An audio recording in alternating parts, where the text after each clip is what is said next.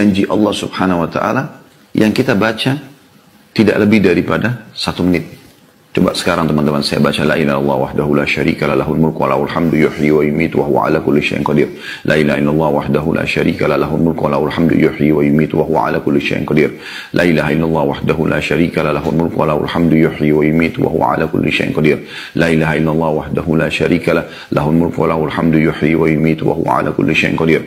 La ilaha illallah wahdahu la syarika la lahul mulku wa lahul hamdu yuhyi wa yumiitu wa huwa ala kulli syai'in qadir.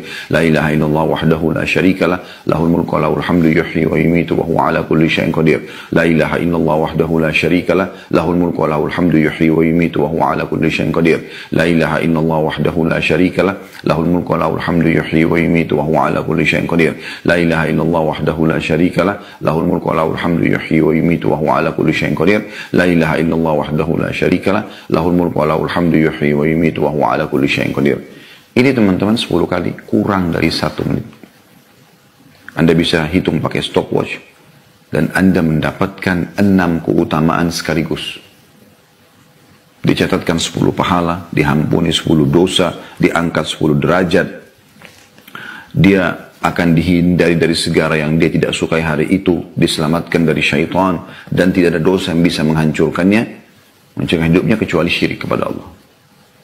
Jadi keutamaan zikir, ya, yang luar biasa. Cuma memang bacaan ini diikat atau terikat dengan sholat subuh. Ya.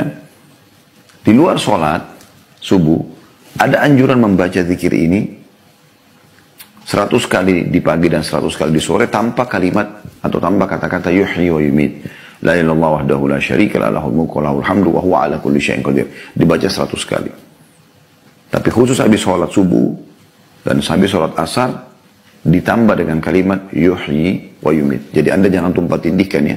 Teman-teman yang rutin membaca zikir pagi petang, perhatikan baik-baik hadisnya, tidak ada kata-kata yuhyi wa yumitnya.